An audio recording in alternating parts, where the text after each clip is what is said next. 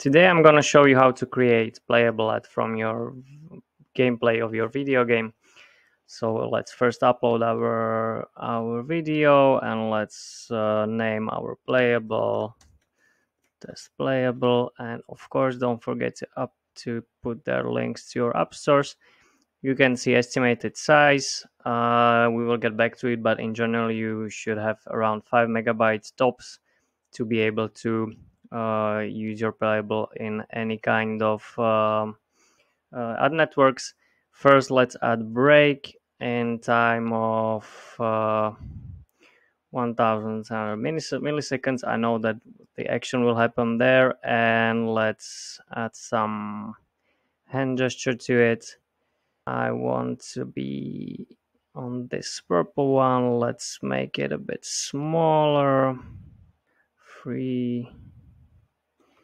Three 0.3 is enough.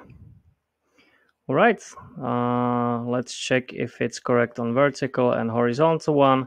It seems correct. Let me move this one a little bit, but it's all right. And on the action, so user will be paused here. He needs to click. Uh, then the video is resumed. That's why we need to set the action to resume video nothing else is needed but we if we want to we can move some animation so user actually knows that he needs to click. So scale animation or transparency animations are usually the ones to go to.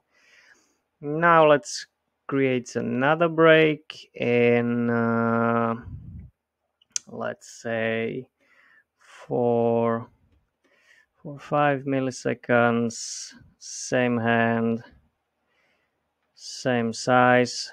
So we keep the everything ready and it's going to be on this red one.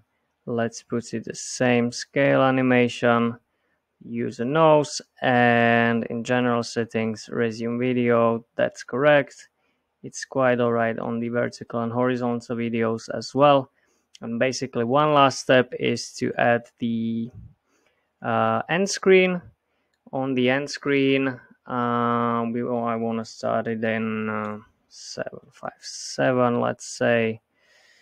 And we want to add here some successful animation a download button uh, a background that can be black with almost no transparency or a little bit of transparency is enough.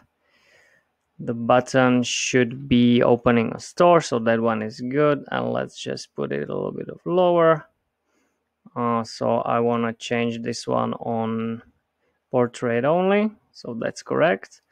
And I will create another button like this that will be on landscape only.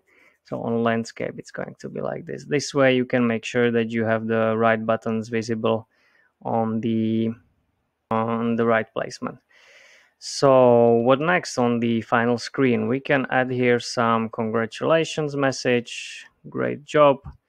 Uh, that will be basically doing nothing or opening uh, store as well. And let's add let's add something more there. Some sprinkles. That's all right. We'll move it a little bit and basically that's it. Now all you need to do is try it out. So job you download or you are ready to build your uh, playable select where you want to build it start building and just wait and start your campaigns. That will be it guys. Thank you and see you next time